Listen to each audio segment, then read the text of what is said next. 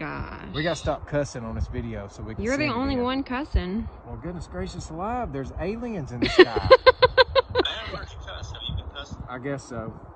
Twice.